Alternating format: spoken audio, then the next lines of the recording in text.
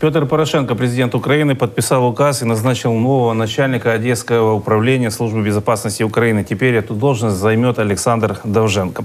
Я напомню, что генерал-майор Александр Довженко работает в СБУ с 1993 года.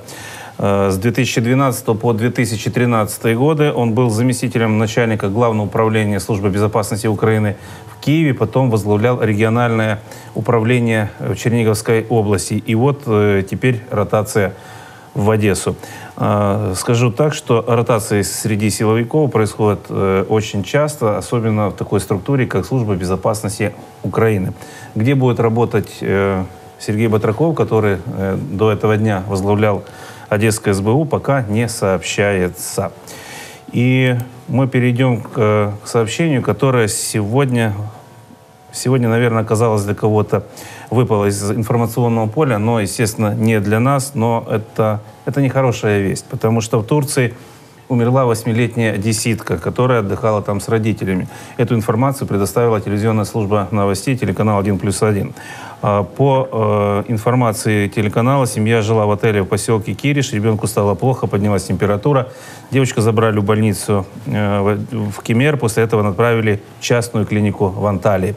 Однако спасти маленькую одесситку не удалось.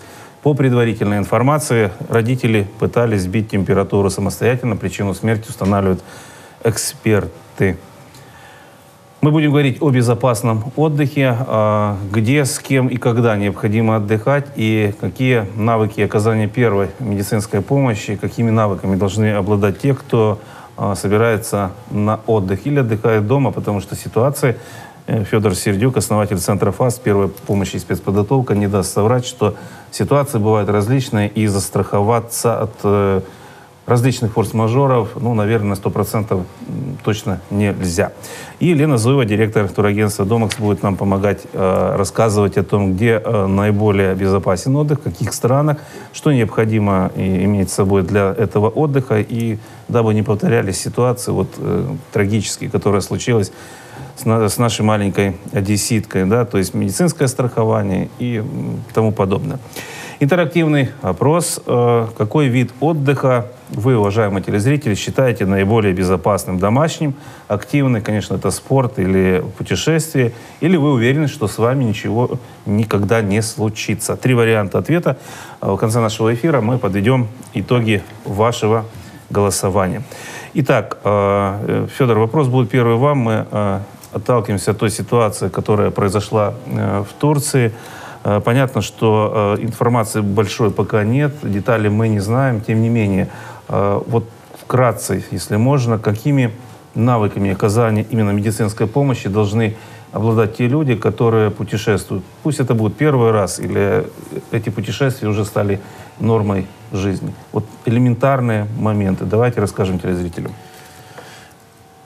Спасибо большое, Сергей, за вопрос. Это действительно важная тема, потому что пожалуй, каждый человек, я думаю, что мы увидим даже понимание этого тезиса в результатах эм, сегодняшнего вопроса, а, каждый человек может стать эм, когда-то зависимым от э, определенных экстренных действий по помощи ему до прибытия врачей.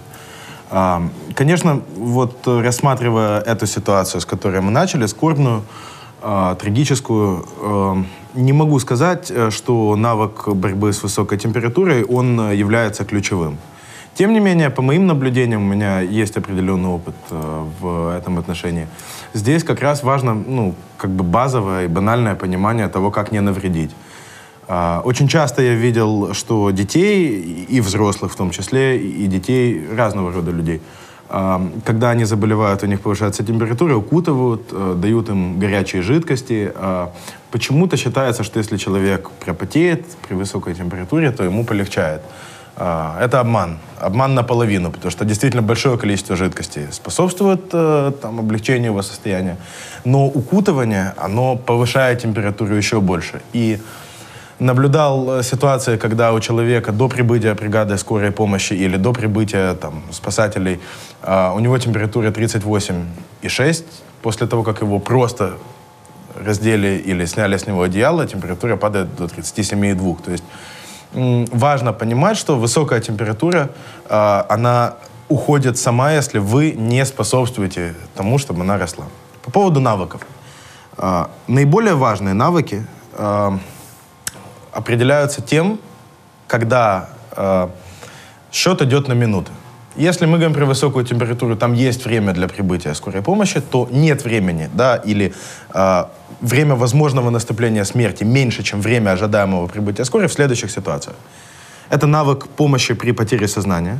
Важное перекрытие дыхательных путей. Мы когда-то, по-моему, даже целый эфир посвятили этому. Перевод в безопасное положение на бок. Это навык сердечно-легочной реанимации. Остановка сердца, сердце не бьется, нужно работать за него. А, это навык остановки кровотечений. Прекрасный пример э, нашего студента полицейского, мы вспоминали его в эфире, э, когда он прибыл через три минуты и уже успела вытечь из мужчины раненого порядка двух литров крови. Он остановил ему кровотечение, спас ему жизнь. Минутой позже мужчины бы не было в живых. И, пожалуй, это навык помощи при травмах шеи и позвоночника. Это не главное, но это очень хорошо поддерживает людей психологически, потому что один из наших самых больших страхов — это навредить. И когда вы знаете два-три простых э, правила помощи людям, у которых подозревают такую травму, ну, например, после ДТП, все становится легче. Вот эти четыре навыка я считаю главными и основными. Этими четырьмя навыками э, я хотел бы, чтобы владел каждый человек, и тогда э, у нас бы просто феноменально снизилась бы смертность в стране. Вы сейчас говорите о кровотечениях. У нас есть небольшой видеоролик. Э, мы позаимствовали э, его с вашей страницы в Фейсбуке. Именно как раз остановка кровотечения. Я так понимаю, что э, пользоваться можно различными подручными средствами. Сейчас это видео наши телезрители посмотрят. Пожалуйста, выводите его на экран, и вы прокомментируете то, что там происходит. И мой следующий вопрос уже, соответственно, будет Елене, насколько возможно с помощью туристических агентств обезопасить свои путешествия? Вот что происходит сейчас? Здесь э, происходит остановка кровотечения э, из конечности с помощью импровизированного жгута. Импровизированного значит, э, что человек, который э, применяет этот навык, он не был готов, у него не было там, жгута э, промышленного, и он делает его из подручных средств. Мы специально взяли целлофановый, э, ну, очень плотный пакет, который не тянется. Э, мусорный мешок, по сути, и ножницы, потому что это прекрасная иллюстрация, что можно использовать, э, если не все, что угодно, то много чего. Э, несколько слов вдобавок к этому видео. А, остановка кровотечения у людей а, осуществляется жгутами только в тех случаях, когда а, другие способы исчерпаны. Это не связано с травматичностью, то есть косвенно. Просто есть более простые и менее трудоемкие способы. Например, прямое давление на рану. А, то, что мы советуем любому человеку, особенно тем, кто занимается спортом или активными видами его. Если видишь кровь, придави сосуды, с которого она течет, просто рану, руками в перчатках. А, не иметь с собой перчаток, занимаясь э, потенциально опасными вещами, а, это глупо и безответственно. Потому что перчатки... Кстати, вы защита. всегда говорите о том, что перчатки вы носите с собой. Э, вот в студии, понимаю, сейчас их нет, но у вас есть я думаю, что они или остались в сумке, или нет. Есть такие, да? Да, конечно. Вот, вот, вот подтверждение того, что перчатки всегда действительно э, Федор носит с собой. Ну, это абсолютно Это верно. необходимость. Я хочу иметь право и возможность спасти человеку жизнь. И при этом э, моя жизнь для меня важнее, чем чья-либо другая. И я не хочу заразиться ВИЧ или гепатитом или чем-либо другим из-за контакта с кровью. И только перчатки дают мне э, стопроцентную гарантию того, что я не буду заражен пытаясь кого-то спасти или спасая. А, поэтому мы говорим, что перчатки плюс прямое давление на рану, успешная остановка кровотечения. По каким-либо причинам это невозможно. Страшно давить, непонятно куда давить. Много пострадавших, как было при терактах, которые сейчас происходят каждую неделю. Используйте жгут. Если нет промышленного жгута, э, который был произведен специально для этого, хотя сейчас э, масса туристов носят их с собой в рюкзаке, это занимает... Вот мы сейчас узнаем, туристы носят э, такие штукенцы у себя в рюкзаке. Э, Елена Зоева, директор турагентства «Домакс». А, вот проводите ли вы некий инструктаж э, для э, тех людей, которые с помощью вашего туристического агентства заказывают различные туры, насколько серьезно люди относятся к тому, а, о чем вы говорите? И опять-таки, если говорить о безопасности, а, чему вы обучаете или на что настраиваете ваших клиентов в первую очередь? Здравствуйте, Сергей. Здравствуйте. Спасибо большое за то, что вы обратили внимание на столь важный сегмент, касающихся путешествий. К сожалению, могу констатировать, что крайне малый процент туристов относится серьезно к страхованию, к медицинскому страхованию, если уж вернуться к проблеме, которую мы затронули. А, мы настаиваем, мы категорически не продаем туры, в которых не включена медицинская страховка. Что э, всегда я говорю туристам? Я всегда прошу их обратить внимание на условия страхования, на то, кто оказывает непосредственно assistance за границей. Э, я всегда настоятельно прошу туристов понять, что в момент пересечения границы оказать им первую помощь, доступную финансово, может только страховка. То есть, если с вами что-либо происходит, вы в первую очередь обращаетесь в страховую компанию. Сама лично проверяла. Вот э, у меня прямо есть э, страховая компания, с которой мы лично сотрудничаем и берем всегда э, у них страховки. И я в каждой стране пытаюсь проверить, как они работают. Всеми способами. Позвонить, написать, на e-mail, на Viber всегда реагируют. То есть первое что? Я читаю договор, который предоставляется в момент заключения сделки. Да? Это сделка. А, что прописано, какие условия, что включено, что покрывает страховка. Ведь на самом деле читать договор нужно. Не все это любят делать, не все умеют, но его нужно читать и понимать, что включено, по той причине, что подводных камней множество. Какая-то страховая компания покрывает абсолютно все, а какая-то покроет какую-либо часть чего-либо для одного из например, семьи путешествующих. И такое тоже есть. Мы настоятельно просим, пожалуйста, почитайте, посмотрите, ну кто это делает? Ну, вместо своих туристов это сделали мы. И в случае, если турист выбрал тур, в который включена страховка, которая ничего не покрывает, мы предлагаем дополнительное страхование. А если я вижу, ну, туристы часто отказываются. А с чем это связано? Как люди объясняют? Вот такое наплевательство Ничего со мной не произойдет. Ничего со мной не произойдет. И я вам скажу, вот э, недавно был э, пример, когда ехала То есть то, что мы внесли в интерактив третьим вариантом э, вопроса, ответа, вернее, да, это, это то, что происходит реально это в жизни. Это то, что происходит реально в жизни. И я вам скажу очень немаленький процент. Ну, во всяком случае, мы с этим сталкиваемся очень часто. Вот ситуация была семья с детьми с малышами, там 2-3 года, то есть это произойти может что угодно. И э, туристы определились на туре, стоимость которого автоматически включена туроператором страховка, которая ничего не покрывает. Она покрывает болезнь одного из путешествующих – не покрывают происшествия в море. То есть вот эти моменты, температура, ты имеешь право воспользоваться страховкой, если у тебя температура выше 38, у ребенка выше 38 с половиной. Ну, на минуточку. Предложено было туристам за дополнительную плату приобрести страховку, которая покрывает все. Люди отказались. Я скажу честно, я дополнительно сама сделала им эту страховку по той причине, что если вдруг начнутся проблемы за границей и люди обратятся ко мне, как я смогу им оказать помощь? Только обратившись в страховую компанию, потому что лечение за границей очень дорого стоит. Как принимающая сторона, знает ли она о том, что наши туристы, выезжающие за границу, отказываются от медицинской страховки? Как они это расценивают? Смотрите, а, если мы отправляем туристов а, так называемые пакетные туры, Э, это тур, э, под который заказан чартер, Э, это пакетный туризм такой. То не могут быть там туристы, там автоматически обязательные условия у принимающей компании наличие страховки. Но опять же возвращаюсь к тому, что в целях экономии, в целях оптимизации стоимости э, туроператоры сотрудничают с абсолютно разными страховыми компаниями, которые абсолютно по-разному себя ведут в случае чего-либо. Ну, вы знаете, я, наверное, сейчас скажу без преувеличения, иногда цена этой экономии – это человеческая жизнь, да? Так и есть. Ну, как минимум здоровье. Федор, а что бы вы посоветовали тем э, туристам, которые, я сейчас не про экономию, да, а те люди, которые наплевательские, таких очень много, это правда, вы лучше меня это знаете.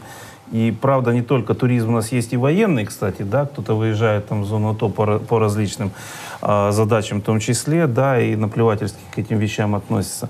А что бы все-таки посоветовали тем людям, которые говорят, со мной ничего не случится? Ну, вы знаете, каждый день таких людей становится все меньше. Слава Богу. К сожалению, их становится меньше естественным образом, потому что а, я очень люблю статистику. Статистика говорит, что сегодня в Одессе, ну, например, да, это могут быть неточные цифры, два человека переживет остановку сердца. А, вероятность выжить при остановке сердца, не а, получив сердечно-легочной реанимации спасателем, просто очевидцем, да, членом семьи, другом, коллегой, она очень низка. Она стремится там, к 5%, даже чуть ниже. А, и если примеряя на себя эти цифры, а они сейчас со всех сторон, мы подаем их огромным потоком этой информации, предостерегающей, а, примеряя их на своих родственников, человек все равно не чувствует резонанса, значит, так тому и быть. Мне жаль, но двое сегодня отправятся в небытие. И я не буду искать виноватых, это личное решение и личная ответственность каждого. Какой можно сделать вывод?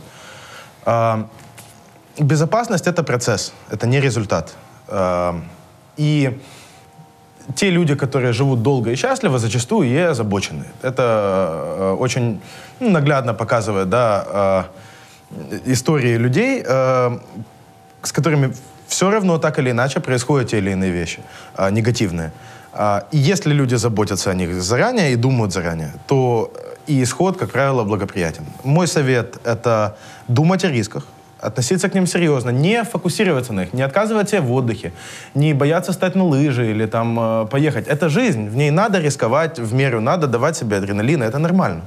Но при этом э, считать, что ты не накопил на тур, если ты не накопил на страховку, считать, что ты не накопил на э, активный отдых, если ты не накопил себе на э, там, какую-то минимальную аптечку или тренинг, или обучение. И вопрос тут не в продаже каких-то коммерческих услуг. Если со страховкой это единственный вариант по понятным причинам, это финансовая э, манипуляция, то сейчас огромное количество организаций от Красного Креста и заканчивая там какими-то э, еще международными фондами предлагают э, бесплатные опции. Какое качество, э, это уже там абстрактный вопрос, конкретные инструменты всегда есть. А, главное — это понимание рисков и ответственность. Много людей из моего окружения, из э, тех, кого мы с, э, с вами, Сергей, знаем, э, они находятся э, на достаточно видных э, как бы позициях в обществе или там на своей работе, но при этом они в вопросах безопасности являются чудовищно инфантильными.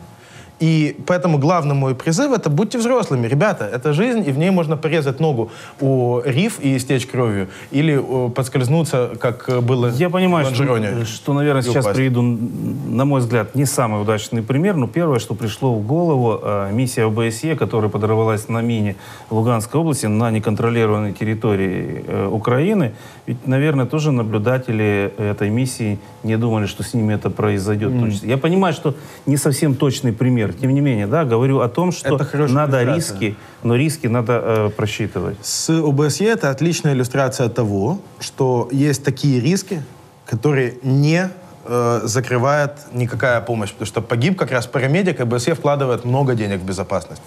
Здесь, кстати, вопрос страховки мне очень нравится вообще эта тема, честно скажу.